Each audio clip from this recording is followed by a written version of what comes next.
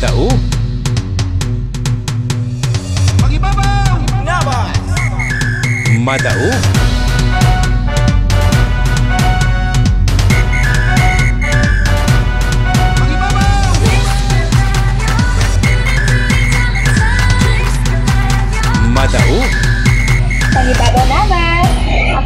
Nicole Angela Pistini, your Miss Millennial Aklan, 2019. Pinakalipas na halos dalawang taon, ang tourism industry ay isa sa direktang naapektuhan ng pandemya. Ang bawat probinsya at bayan sa buong bansa ay nakaranas ng matinding hamon na sumubok sa ating katatagan at sa manalig sa Diyos at kapwa. Matutunan din natin ang mga alternatibong pamamaraan na yakapin ang new normal. Kasabay ng ating pagbangon, sama-sama nating kasiglahin muli ang industriya ng turismo sa ating bayan. Kung kaya ang ating masigasig na FT member Honorable si Suron Salanov na scientific proponent at sa buong suporta ng LGU Nabas na sinangungunahan ni Mayor James Salanov kasama ang FT Federation.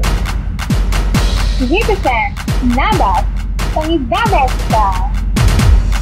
Ito ay tourism promotional video na may temang Banwang Nabas, Bugana at Sinasahi. Paano at sino ang pwedeng makasali? Ito ay open sa lahat ng nabasnon, edad 18 to 30. Pero, may pero! One barangay, one official entry lamang. Ang video ay dapat akmatan ko sa ating team. Ang lahat ng interesadong sasali ay kailangan makipag-coordinate sa kanilang ST chairman. And for more info about the guidelines and mechanics, check the link below or visit Nabas Madaog Facebook page. Paano manalo? Kailangan active na active nyo ang criteria ito. Creativity and relevance to the team, 50%. Online views naman, 20%. Overall impact, 50%. Social love, 100%.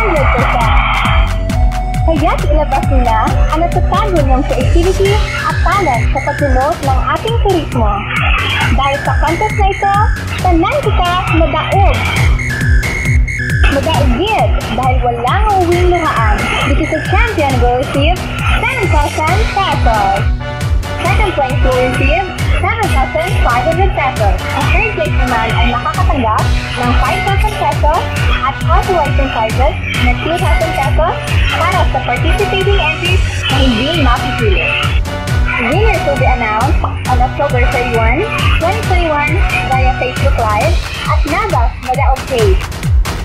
Ang mga winners at lahat ng participating videos ay magiging parte sa lahat ng programa ng ating LG. Ano pa ang ating ginulat? Kung karoon. Together, let us show Nabas to everyone. Dahil sa muling pagbangon ng turismo, sigurado, madaog tayo. Magibabaw! Nabas! Magibabaw! Nabas! Madaog.